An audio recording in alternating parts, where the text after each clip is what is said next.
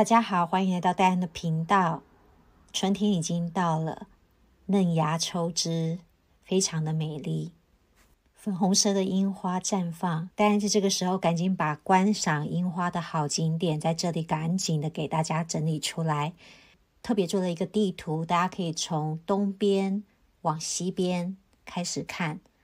在东边是长岛的 Printing Field。在西边是 New Jersey 的 Branch Brook Park，所以大家一定要很认真的把它看完。我们今天的主题是要介绍纽约三个值得来观赏樱花的景点，现在已经可以开始着手去观赏。穿上你最舒适的球鞋，带上你的相机或者是手机，可以拍出很多很多美好的照片。好，那我们就开始吧。第一个在东边的 Printing Field 长岛的 Printing Field，我们在之前的冬季家庭游必去的地方，它是其中一个很美的景点。有兴趣的观众可以再把我们冬季长岛必游的景点这个视频再拿出来观看。整个 Printing Fields 环绕在温室、花园、草坪。林间的小径、践行的步道，占地四百零九英亩，面积相当于半个中央公园。在一九四九年，他们的主人威廉以一元美金的价格把豪宅卖给纽约州政府，促进农业和园艺教育的养成。因此，在 Printing Fields，我们可以看到有许多的非营利机构，他们在当中来认领。种植许多的植物，初春的时候开了很多的樱花，而且大家可以在平日、假日都可以到那里，因为他们那边再怎么多人，看起来都不多，因为毕竟要舟车劳顿到长岛来赏花，所以大家可以在那边看到很美的樱花。除了四月的樱花。渐渐的也会开始开杜鹃花，到了六月有玫瑰花。Printing Fields 是我个人非常非常喜欢的景点，简直就是我家的后花园。在我女儿还一个月大的时候，我就开始带她来这个 Printing Fields 的 Greenhouse 来赏花。非常庆幸纽约有一个这么美的可以供人休憩的庭园。让喜爱大自然的人有一个像自家后院一样的花园美景。第二个要介绍的公园是在 Flushing，在皇后区的 Flushing，Flushing Meadows Corona Park，Flushing Meadows Corona Park，占地八百九十七英亩，从一九三零年首次成立以来，是很多游客会来观赏的景点。包括皇后区博物馆、纽约科学馆，还有一个球场。这个球场是为了一九六四年世界博览会建造的。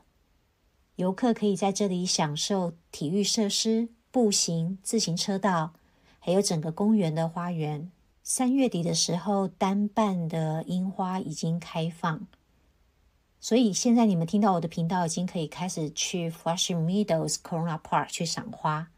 建议大家在平日的时候去，可以享受安静，而且可以好好的在那里拍照、野餐。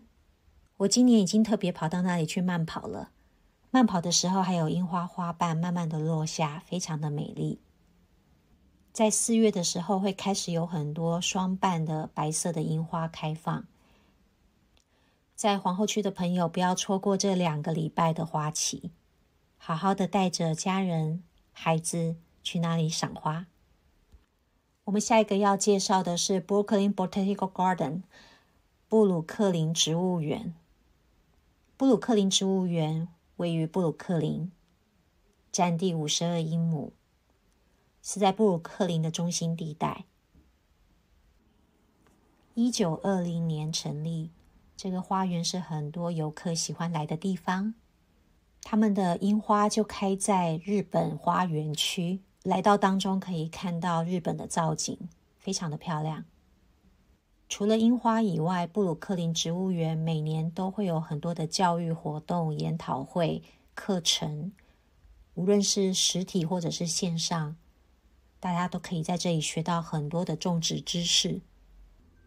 为了奖励大家非常有诚意的听到这里，要给大家一个鼓励，在这里介绍第四个景点，在纽泽西州，不在纽约，但是离纽约很近，叫做 Branchburg Park。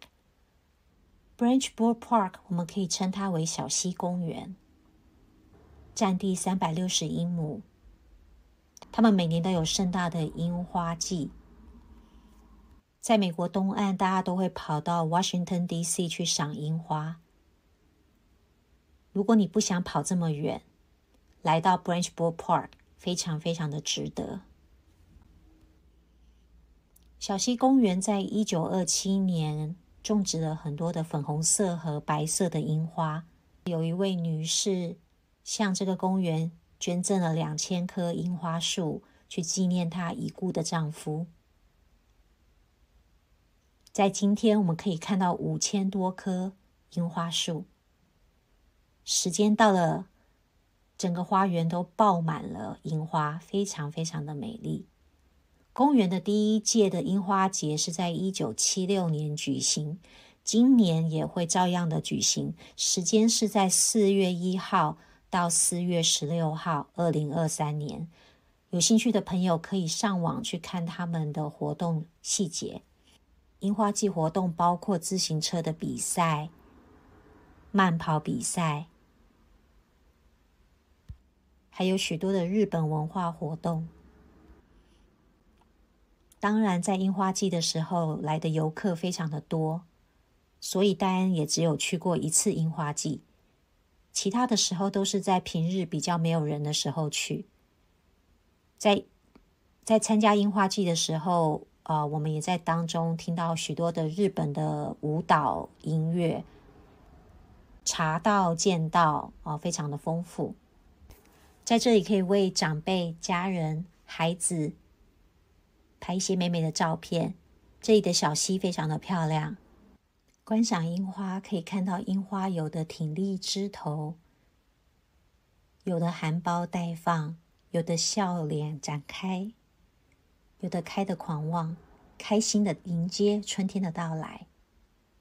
盛开的时候，我刚刚提的这三个地方都有许多的樱花花海。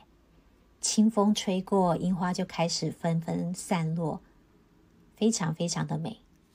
欢迎大家在下方留言，告诉我你们当地有什么漂亮的可以看樱花的地方、赏樱花的地方。不一定要在纽约。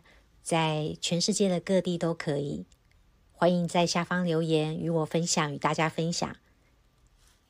在日本，樱花盛开的季节也是在四月前后，刚好跟日本的许多重要的事情一起发生，所以象征入学、毕业、就职等等人生的新开始，是相当具有生命力的花。我们同样可以去思考樱花所象征的那个短暂的生命。我们人的一生，生命真的很短暂。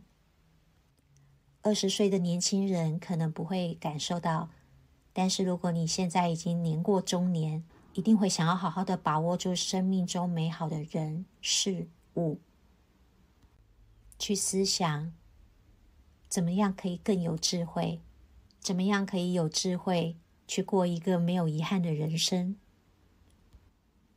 认识耶和华神是智慧的开端。只要我们专心寻求他，我们就能够寻见上帝要给我们的人生的意义和目的。祝福大家都可以享受一个美好的春天。喜欢戴安频道的，欢迎点赞、订阅、分享。我们下次再见。